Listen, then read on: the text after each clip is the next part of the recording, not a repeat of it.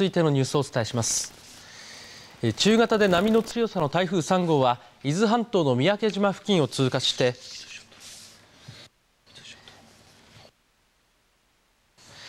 中型で波の強さの台風3号は伊豆諸島の三宅島付近を通過して房総半島の南海上を引き続き北東に進んでおり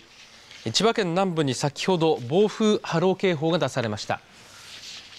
伊豆諸島や関東地方の南部では今日の明け方にかけてまだところにより強い雨が降る恐れがあり気象庁では注意を呼びかけています。